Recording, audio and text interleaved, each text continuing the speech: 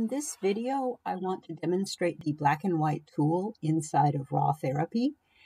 Um, this is a companion to a blog post that I did about using Raw Therapee for black and white photo processing. The black and white tool is found in the Colors tab. The Colors tab is this one here, which is three interlapping, overlapping circles, excuse me. Um, you can open it down by clicking on it and turn it on by pressing the little circle beside it. This tool works by combining the desaturated red, green, and blue color channels in different ways. Um, all three of the methods available use different formulas and algorithms to do that, but the, the basic premise of this tool is that it works with the individual color channels and processes them. Um, the desaturation method is the simplest. It is simply a fixed percentage of each channel. The formula is at 0.299 times the red channel, 0.587 times the green channel, and 0.114 times the blue channel. The tools available inside this are the gamma correction and the before and after curve. These three tools are available regardless of which method you select. Gamma correction is something that you're going, you're going to want to do after you have gotten your photo the way you like it otherwise. This is the, um, it's intended to imitate how the paper responds to ink of different colors and allows you to fine tune the final look of your image um, generally speaking, the way it works is that you can move it down and it will tend to darken, um, and up and it will tend to lighten. And it would do that differently for the different colors, allowing you to imitate different papers if you are um, sophisticated, more sophisticated than I am. One quick note is if you want to use the blue slider, you need to, you notice it didn't do anything there. You need to go to your color management tab and select uh, the working color profile to be sRGB. Um, it's just a quick tip. Um, and then it will do a little something. It, the blue, it's not quite as sensitive to the blue as it is to the red and green um, even if you do that. So the desaturation um, also allows you to do a before curve. This is a tone curve that would be used only in black and white so that when you turned on the black and white, turn on the black and white channel or the, the tool here, it will use the curve. And if you turn this off, it will go back to the original tone curve that you have set in your exposures panel. This allows you to, for example, work with a more contrast um, inside of black and white. Um, and then the after curve is applied after, and again, only in the black and white. So these two tone curves are specific to this tool, and you can click them on and off just by selecting that. The second method is called the luminance equalizer. And this will take, take the image to be what they call a neutral gray.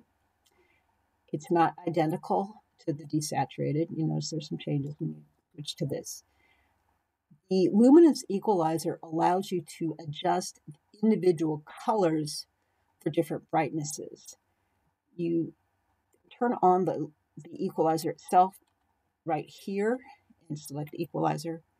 Um, the equalizer's axis is essentially a flattened out color, color wheel. It goes from red around to red. You can change how bright an individual color is. For example, you notice that the Indian paintbrush is, is quite red. I can lighten that color by moving the red up I can darken that color by moving the red down. Um, the green leaves could be darkened by moving this down or lightened by moving it up. Obviously, once you've turned it black and white, you may forget the exact color. This tool has a color picker, and that's this little cross beside the arc. You select that, there's a little triangle, or excuse me, square. And as you move it across, you'll notice that there's a white line that shows you where on the color wheel the part of the image falls. And so you can come in here. If you press Control and press the left mouse button down, you can move the curve by pushing away from you to lighten and pulling toward you with your mouse to darken. So there's two ways you can adjust color with this. One using the color picker and the other using the point on the graph. So let's just do that. Do that. Um, if you want to do before and after, press this one that has an arrow and it will save the curve. You press the reset here and it'll flatten it out. And then when you press this, it will pull the saved curve in, allowing you to toggle back and forth between your selected things and the neutral gray image that you started with. Again, this will have the, the gamma correction, a before curve, and an after curve available to you as well.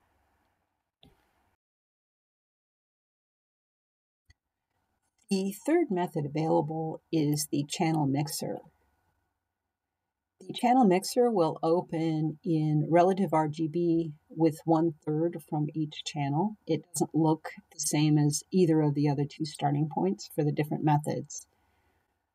The Channel Mixer is an incredibly sophisticated tool with a lot of different options. It has a total of 15 different presets and nine different color filter options. Another of the tools available inside of the channel mixer is this color filter, which is right below the presets. There are a total of nine different filters. What these do is provide an algorithm that imitates how your photo would look if you had put a filter in front of your lens when you took the photograph in the first place. Um, as you can see, the different color filters can have pretty different effects. Um, this will modify what the percentages are for these. These will not when you use a preset, it, it combines with a preset. It is not a replacement for the preset, but it does alter the percentages that the preset would normally have when you um, use both of them. And that's, I don't believe it's linear. It seems to be modified. The presets of these presets, 11 of these are set percentages of the red, green, and blue channels. So landscape changes it from 33% red to 66, takes the greens down to 24%, and makes the blues 10%. Uh, they will always add to 100 um, with the presets. The four that are not set amounts or are adjustable from the initial set amounts are the absolute RGB, the relative RGB, the absolute ROY GC BPM, and the relative ROY GC BPM. The ROY GC BPM stands for red, orange, yellow, green, cyan, blue, purple, and magenta. Um, the difference between absolute and relative. You notice that with the relative, you will always keep this total at 100%, no matter where you put the individual sliders. It will equalize them so that the total will always be 100%. And what that means is that the overall brightness of the image will be the same as your original image. In the absolute options for these, the total will be different, can be different from 100%. If the total is less than 100%, that means the image has gotten darker than it was in the beginning. And if the total is greater, then the overall brightness of the image will be increased over your initial starting point. The uh, RGB ones, you can adjust the individual color channels um, using the sliders. And just to get different looks, whatever you prefer. With the ROYGCBPM, you have the three color channels, but there's also an algorithm that will adjust individual colors between the three channels. So, for example, uh, yellow, the center of the flowers is kind of yellow, and there's yellow in the leaves. You can see that by moving the yellow slider, I can change the emphasis in the picture. Um, for this, there are two choices. There's a special effects and a linear. Um, you just have to experiment to see which suits your image the best. Um, and so that gives you just an amazing amount of flexibility. You can get some really wild looks. You can get some very sophisticated looks. Um, again, this this tool also has the gamma correction. Um, to imitate, I don't know much about papers, but to imitate maybe some type of paper that was more sensitive to green than than red or something. Um, you can do a curve to make image have more contrast before it starts the black and white process. Um, and you could add a curve that's add that's um, adjusted after. Um, say this one maybe will brighten up the darks um, after you finished it all up. And so one thing I'll note is that these these the gamma, the before and after curve, if you switch to a different method, those curves will stay with you. They, they stay the same from method to method and you have to readjust them if you want to adjust them for the different methods. But that is a quick rundown of this tool. Obviously, it has an enormous amount of flexibility and power, and you can do some very, very creative work using black and whites with the black and white tool inside of Raw Therapee. I hope you have some fun with it.